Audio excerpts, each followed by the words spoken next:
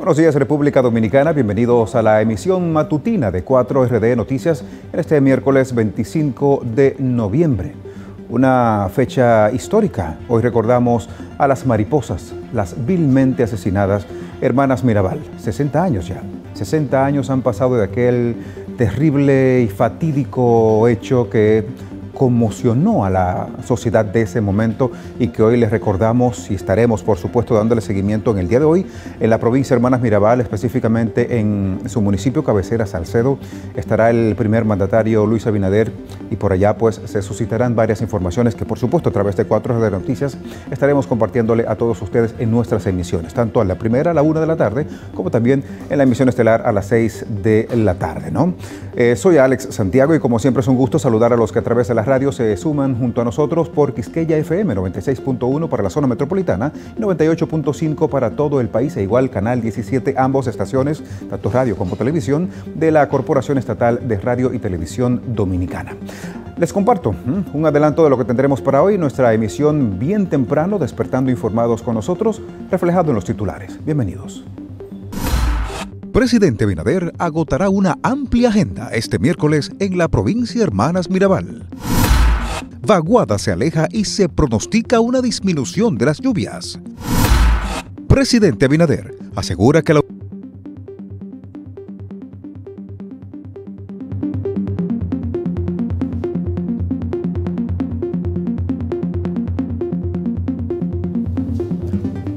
Bueno, vamos nosotros a comenzar nuestra emisión matutina con el presidente Luis Abinader, quien precisamente, como anunciaban los titulares, viajará este miércoles a la provincia Hermanas Mirabal para desarrollar una amplia agenda en esa localidad. Veamos a continuación la información con la que aperturamos nuestra jornada informativa para que se entere de por dónde anda el primer mandatario en este día de hoy, mitad de semana. Presidente Luis Abinader viajará este miércoles a la provincia Hermanas Mirabal para asistir a los actos conmemorativos al 60 aniversario del asesinato de las mariposas Patria Minerva y María Teresa Mirabal. La ceremonia tendrá lugar en el Museo de las Hermanas Mirabal en Salcedo, provincia Hermanas Mirabal, y de ahí el mandatario realizará un periplo que incluyen varias actividades en la zona. La información la dio a conocer la Dirección de Prensa y Comunicaciones de la Presidencia. Entre las actividades, el presidente Abinader realizará una visita a la zona franca de Salcedo, ubicada en la calle Manolo Tavares Justo de esa comunidad. Luego tendrá un almuerzo con la dirección política ubicada en la carretera Javilla de Salcedo. Luego encabezará la inauguración de las oficinas de la Dirección General de Impuestos Internos, ubicado en la calle H. Mirabal, en el municipio de Salcedo. Para 4R de Noticias, Carmen Aybar. Si me matan, sacaré los brazos de la tumba y seré más fuerte. Esa frase de, Minerva Mirabal nunca se me olvida, nunca se me olvida, y mucho menos en un día como hoy, en un día como hoy, que la recordamos, 60 años de su partida. La vaguada que afecta al país se aleja, por lo que se pronostica una disminución de las lluvias. Veamos el resumen a través de las informaciones de la Oficina Nacional de Meteorología.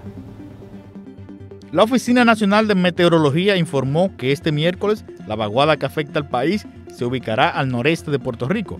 Esto permitirá una disminución de las precipitaciones. Sin embargo, por efecto del transporte de campos nubosos por los vientos alisios del noreste, habrá chubascos dispersos sin descartar algunas tronadas muy aisladas hacia las regiones nor-nordeste, puntos del sureste y los sistemas montañosos. Estas lluvias serán menos frecuentes en las demás regiones. Meteorología indicó que Santo Domingo estará medio nublado en ocasiones con chubascos aislados. Santiago tendrá incrementos nubosos en ocasiones con lluvias dispersas. La Romana tendrá chubascos dispersos y San Juan estará con nublados parciales y algunas lluvias. La institución indicó que para este jueves se prevé la entrada de campos nubosos que son arrastrados por los vientos del nordeste que dejarán chubascos dispersos en varias regiones. Para 4RD Noticias, Melvin Gómez. 60 años nos distancian de aquel horrendo hecho, el asesinato de las hermanas Mirabal. Y bueno, hay que recordarles, ¿no? Por un asunto aquel de que si no recordamos nuestra historia, estamos condenados a volver a repetirla. Nuestra compañera Saidú Vivaral realizó un material interesantísimo que nos acerca a ese momento y así que quiero compartirlo con ustedes. Vamos a verlo. Patria, Minerva y María Teresa Mirabal desafiaron al sanguinario dictador dominicano Rafael Leonidas Trujillo y pagaron con sus vidas por ello, convirtiéndose en un símbolo de la lucha contra la violencia femenina, un flagelo que, sin embargo, sigue desangrando al mundo. Patria de 36 años, Minerva de 34 y María Teresa de 25, casadas con hijos y conocidas como las mariposas, fueron brutalmente asesinadas a golpes junto al conductor Rufino de la Cruz la noche del 25 de noviembre de 1960, cuando las activistas políticas regresaban de visitar a sus esposos presos en Puerto Plata. Este miércoles se cumplen 60 años del cuádruple asesinato que quedó impune, pero que precipitó la caída del dictador, ajusticiado seis meses después, el 30 de mayo de 1961. En conmemoración del crimen, en 1999 Naciones Unidas instituyó el 25 de noviembre como el Día Internacional de la Eliminación de la Violencia contra la Mujer y en República Dominicana se convirtieron en un ícono de la lucha contra la violencia machista. Este miércoles el presidente Luis Abinader visitará la provincia Hermanas Mirabal y asistirá al acto conmemorativo por el 60 aniversario de este brutal asesinato que conmocionó al mundo hace seis décadas. Para 4R de Noticias, Saidu Vivaral. Bueno, pienso que cuando maltratas a una mujer, dejas de ser hombre, dejas de ser hombre. Vaya el mensaje, sobre todo para muchos que piensan de una manera contraria a la que nosotros profesamos. Atención hombres, atención caballeros. Les cuento que a propósito del tema, el presidente Luis Abinader encabezó este martes el lanzamiento del Plan Estratégico por una vida libre de violencia para las mujeres, en el marco de los 100 días de su gobierno y también al conmemorarse hoy el Día Internacional de la Eliminación de la Violencia contra las Mujeres. Joan Navaez nos amplía. El Plan Estratégico por una Vida Libre de Violencia para las Mujeres se dio a conocer mediante el Consejo de Ministros y Ministras ampliado, el cual fue convocado por el presidente Luis Abinader para tratar el tema de violencia de género y buscar soluciones efectivas contempladas en esta iniciativa del gobierno. Vamos a crear un cuerpo especializado en violencia de género. Un cuerpo especializado para dar seguimiento porque la violencia no tiene hora ni día, por lo que vamos a garantizar que los servicios estén disponibles y accesibles las 24 horas y de manera gratuita todos los días del año para la atención a toda mujer en situación o riesgo de violencia. Los niveles de violencia, las muertes cada año, nos llevan a tener este cuerpo especializado, así como hay cuerpos especializados para otras áreas en el Estado Dominicano, para esta sería todavía de mucho más importancia. De su lado, Mayra Jiménez, ministra de la Mujer, explicó que este plan contempla seis ejes fundamentales. Este plan busca robustecer las capacidades del Poder Judicial para una respuesta integral a la violencia, que nuestros jueces juezas y fiscales dispongan de todas las herramientas necesarias, conocimiento y comprensión de la problemática de la violencia contra las mujeres que le permitan dar respuesta integral. Implementará también acciones para ampliar y mejorar la calidad de los servicios de atención emocional y psicológica, así como asesoría jurídica que se ofrecen a través de las oficinas provinciales del Ministerio de la Mujer en cada eh, municipio y provincia del país. En el encuentro además firmaron el convenio de coordinación en la prevención de la violencia de género en línea con los objetivos de desarrollo sostenible en República Dominicana, esto con la Unión Europea. El programa cuenta con un monto equivalente a unos 350 millones de pesos. Este programa que se convierte en República Dominicana en el primer programa integral de prevención de la violencia basada en género se alinea tanto al plan de violencia de género impulsado por el excelentísimo señor presidente de la República como al anteproyecto de ley de atención integral que se piensa someter próximamente al Congreso de la República. El plan contempla un programa de asistencia a huérfanos de violencia, feminicidios, así como una campaña de información y sensibilización. Para 4R de Noticias, Joan Báez. Les recuerdo que el maltrato no solamente es el físico, también el maltrato social, el maltrato psicológico, el maltrato que va mucho más allá y que muchas veces es peor que ese que pues se desarrolla en función de una agresión per se, ¿no? Así que vamos a tomar eso en consideración, no solo por ser hoy este día, porque mm, a la mujer no hay que tocarlo, ¿eh? ni con el pétalo de una flor. Siempre lo escuché desde niño. Miren, hoy es 25, por supuesto, de, noviembre. Se recuerda a las mariposas y en conmemoración a este Día Internacional de la Eliminación de la Violencia contra la Mujer, el Ayuntamiento del Distrito Nacional encendió las luces de color naranja en el Palacio Consistorial de Santo Domingo. Todo esto en apoyo a esta causa. Durante la actividad, la alcaldesa del Distrito Nacional, Carolina Mejía, afirmó que la educación es la clave para evitar la violencia contra la mujer. Escuchemos. Que en nuestro día a día las enseñanzas de Patria, de Minerva y de María Teresa prevalecen. Hay muchas formas de violencia y la violencia física es una manifestación. Nosotros tenemos que estar continuamente alertas para poder identificar en nuestro día a día otras formas de violencia. América, Latina es la segunda región que es más letal en ese sentido. Es decir, las mujeres, tanto en América Latina como en África, República Dominicana, también está dentro de los índices que, que marca la Unión Europea y también la ONU. Y queremos aprovechar la ocasión para nosotros hacer un llamado. Queremos recordarle a los hombres que ellos nacieron de una mujer que todos ellos nacieron de una mujer. La alcaldesa del Distrito Nacional, Carolina Mejía, aseguró que desde el ayuntamiento se trabaja para mitigar el flagelo de la violencia contra la mujer, así como otros importantes problemas sociales. Bien, Front, J2 y Armada detienen un bote con ajo y cigarrillos en Montecristi. Los detalles los ampliamos en las informaciones desde la región norte del país.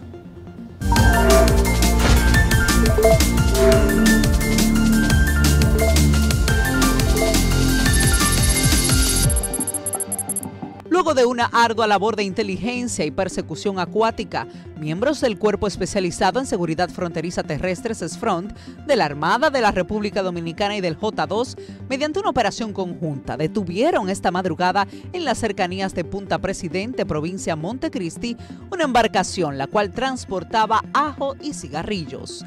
La embarcación tipo Chapín, color gris, con dos motores, fuera de borda, marca Yamaha 60, modelo Enduro, trasladaba la cantidad de 132 sacos de ajo con un peso aproximado de 22 libras cada uno, o sea, 2.904 libras, mientras también se encontraban 952 paquetes de cigarrillos marca Capital 10 por 20 para un total de 190.400 unidades.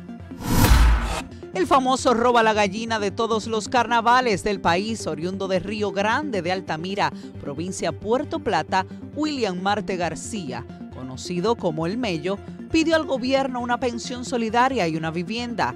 Dijo que hace la solicitud porque realmente lo necesita. En Valverde, miembros preventivos de la policía y del ejército apresaron al médico Richard Bartolo Espejo Rodríguez por supuestamente causar traumas múltiples a su pareja sentimental, Jessica Jiménez, de 22 años de edad. Al momento de su detención, el galeno presentaba laceraciones en el rostro, cuello y tórax, acompañado de trauma en la pierna izquierda. Espejo Rodríguez fue puesto a disposición del Ministerio Público acusado de presunta violencia de género, mientras la joven fue asistida en el Hospital Público Luis L. Bogart del municipio.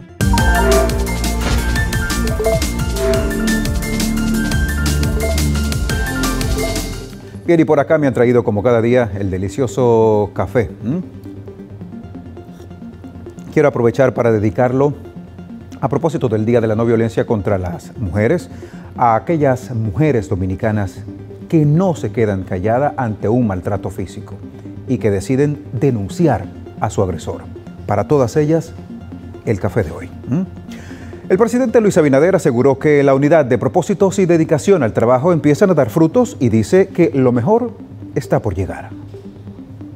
El presidente Luis Abinader aseguró que los avances logrados para evitar un desbordamiento del coronavirus promover la reactivación económica y el empleo, junto a los esfuerzos por la salvación del año escolar, son frutos de la unidad de propósitos y el trabajo tesonero de los sectores nacionales más comprometidos con el futuro del país. El mandatario afirmó que a causa de las secuelas negativas del coronavirus, a su llegada al poder, el país daba señales de parálisis y desesperanza, pero el dinamismo mostrado por las nuevas autoridades y el entusiasmo con que amplias franjas de la población han acogido su llamado al trabajo productivo y a la confianza de que saldremos adelante, están impulsando el milagro de la recuperación.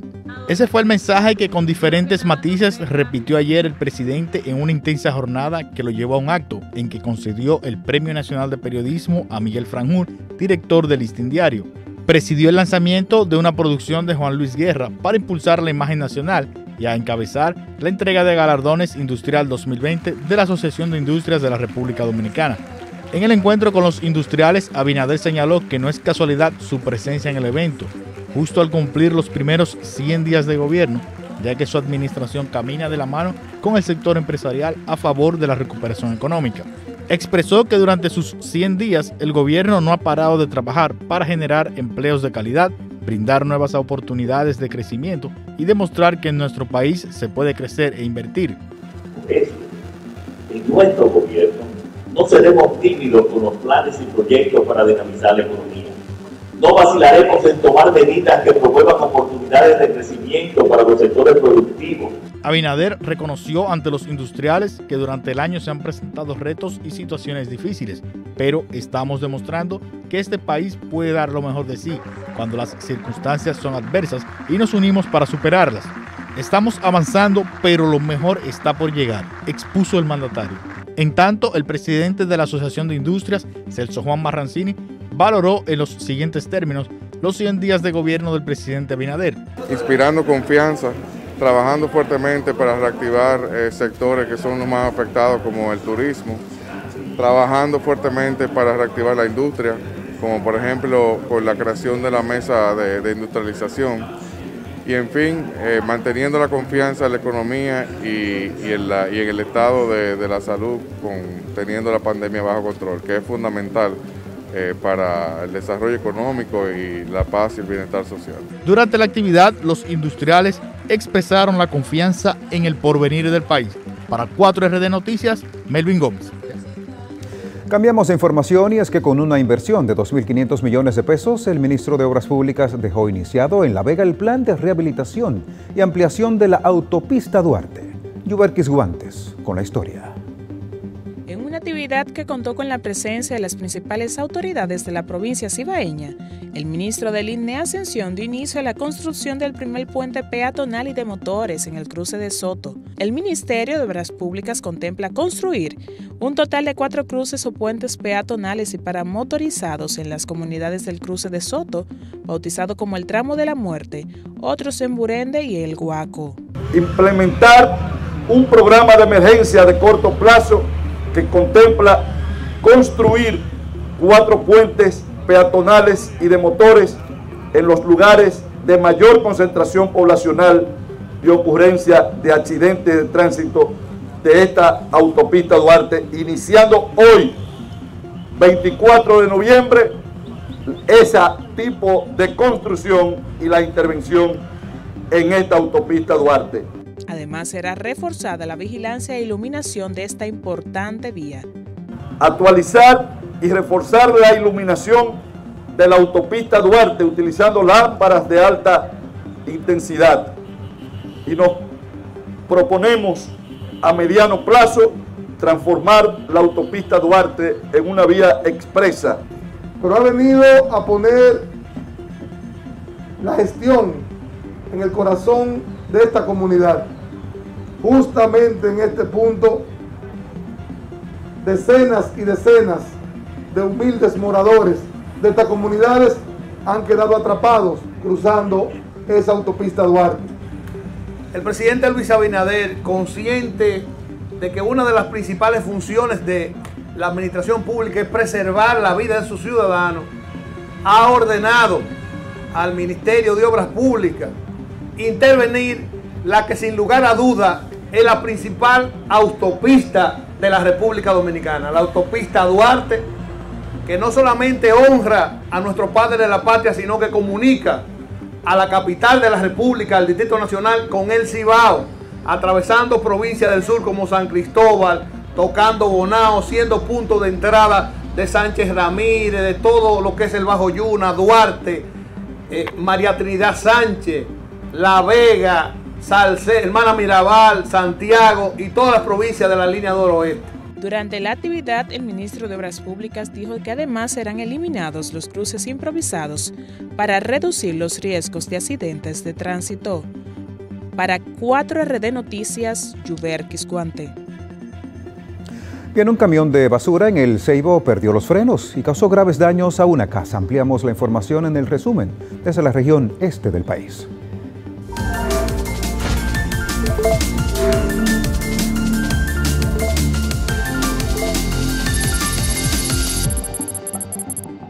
El Ceibo, un camión del ayuntamiento cargado de basura se le fueron los frenos e impactó una vivienda en la calle La Carrera del sector Villanene, causando graves daños a la estructura de la casa de madera. Según se informó, no se registró ninguna persona fallecida, mientras el chofer del vehículo resultó con heridas leves y fue atendido de inmediato en el hospital Dr. Teófilo Hernández.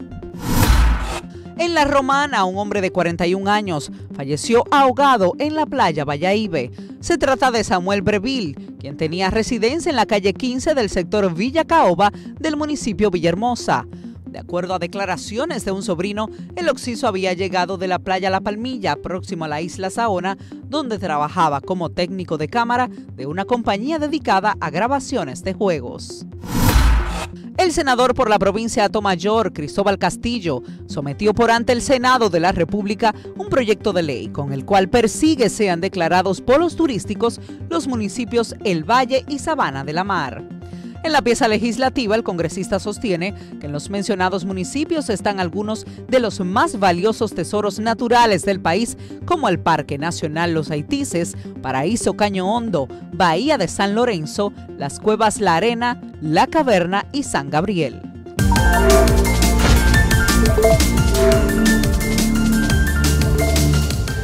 Vamos a echarle un vistazo de manera actualizada a las informaciones que arroja el mundo. La Casa Blanca autorizó que Joe Biden pues reciba informes de inteligencia para facilitar el proceso de transición. Veamos el resumen internacional.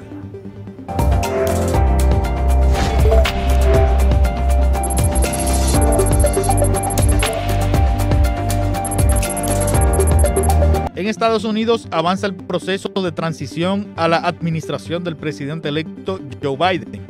La Casa Blanca aprobó que el representante del Partido Demócrata comience a recibir informes diarios de inteligencia. La esperanza de un traspaso de poder rápido contribuyó a una subida histórica del índice bursátil Dow Jones, que superó la barrera de los 30.000 puntos. La Asamblea Nacional de Ecuador aprobó la destitución de la ministra de Gobierno, María Paula Romo, por su actuación durante la represión a las protestas antigubernamentales en 2019, que culminaron con un saldo de 11 muertos y 1.340 heridos. Aunque las manifestaciones han bajado de intensidad, dirigentes indígenas se congregaron frente a la Casa Presidencial en Guatemala, la antigua sede del gobierno y el Congreso, para exigir la renuncia del mandatario Alejandro Yamatei y los diputados. Un Boeing 747 de la compañía British Airways, aparcado en el aeropuerto de Castellón, en la comunidad valenciana de España, desde mediados de agosto, se incendió y aunque el incidente provocó una intensa humareda, no causó heridos. La Universidad de Cambridge denunció como robados dos cuadernos de Charles Darwin que desaparecieron de su biblioteca hace 20 años, uno de los cuales contiene su dibujo del árbol de la vida, convertido en el símbolo de la teoría de la evolución. Para 4RD Noticias, Melvin Gómez.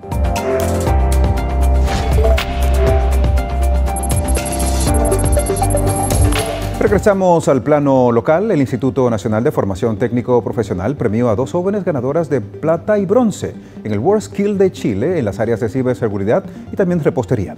Yoconda Paulino conoce. Las jóvenes compitieron con representantes de Chile, Colombia y Ecuador en las áreas de ciberseguridad y pastelería. Que esto tiene importancia para la República Dominicana. De hecho, ya nos están pidiendo los organismos similares a nosotros que coordinemos programas y eh, programas para toda América Latina.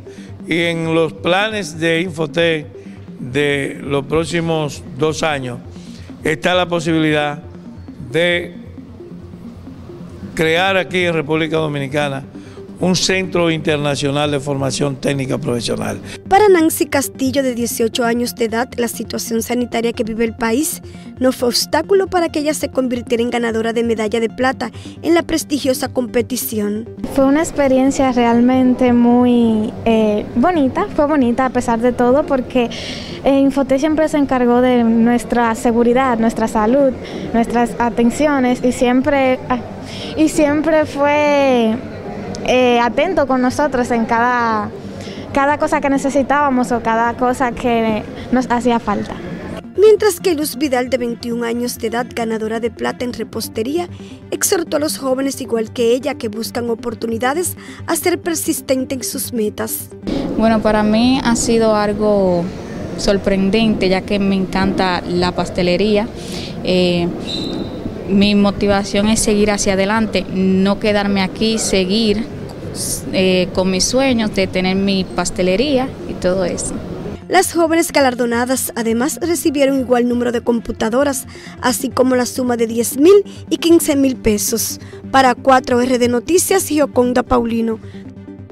Me causa una gran emoción cuando los nuestros, fuera de acá, reciben reconocimientos de gran valía, de gran valía. Las autoridades dominicanas buscan establecer relaciones entre la zona fronteriza con Haití. Veamos los detalles a continuación.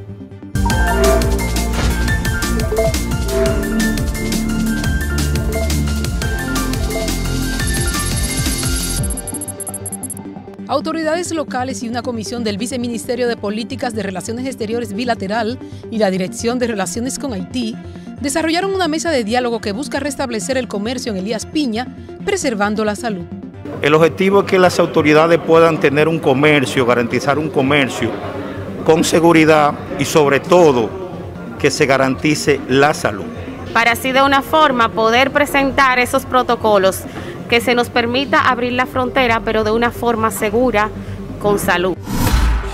La empresa de transmisión eléctrica dominicana puso en marcha el reinicio de los trabajos de construcción de la línea de transmisión a 138 kilovatios Juancho Pedernales de unos 65 kilómetros de longitud que reducirá el costo de la energía en la provincia Pedernales y comunidades aledañas.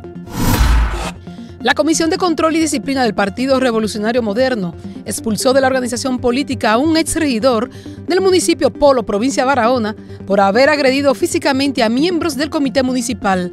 La decisión de expulsar al regidor fue tomada luego de que la Comisión de Disciplina se reunió con carácter de urgencia para tratar las agresiones de César Morales Yapul al presidente municipal de la organización política en Barahona, Carlos Manuel Félix Tejeda.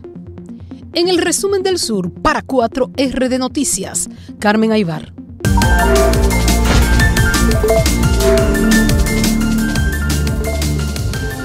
Les invito a conocer la agenda del día, las informaciones que desde hoy miércoles 25 de noviembre y en lo sucesivo serán noticia. Estas son las actividades que serán noticias para este miércoles 25 de noviembre. A las 9 de la mañana habrá una rueda de prensa de Plan Internacional en la avenida Abraham Lincoln. A las 9.30 de la mañana será la rueda de prensa del Colegio Médico Dominicano en su sede. A las 10 de la mañana será la visita del presidente Luis Abinader al Museo de las Hermanas Mirabal en Salcedo, provincia Hermanas Mirabal. A las 10 de la mañana también será la inauguración de la Unidad Integral de Atención a Adolescentes en el Hospital Robert Reed Cabral. A las 10 de la mañana habrá una rueda de prensa del Ministerio de Salud Pública sobre COVID-19. A las 10 de la mañana habrá una rueda de prensa de la Unión de Comerciantes y Empresarios MIPIMES en el Hotel Riazor. A las 11 de la mañana será la inauguración de la Unidad de Género Infantil en el Hospital Hugo Mendoza. Para 4RD Noticias, Melvin Gómez. Nosotros somos acá como equipo muy agradecidos, así que a través de la radio 96.1 Quisqueya FM y 98.5 para todo el país, Quisqueya FM por supuesto, nos han escuchado a través de la radio. Un abrazo gigante a toda esa gente y por supuesto Canal 17. En nombre de todo este equipo, gracias. Nos reencontramos a la una de la tarde en la primera emisión. A continuación, conectamos con el Ministerio de Educación en la sección Padres. Sean felices. Hasta entonces.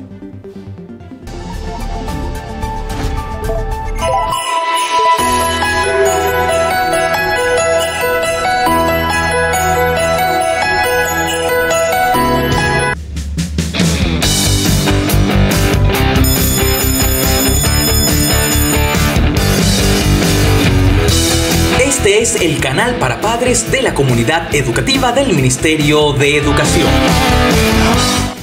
Hola padres, madres, tutores. Hola a todo adulto que está al cuidado de un niño, de una niña en este tiempo tan hermoso de aprender juntos en casa. ¿Cómo están ustedes hoy día? Suponemos que igual que nosotros,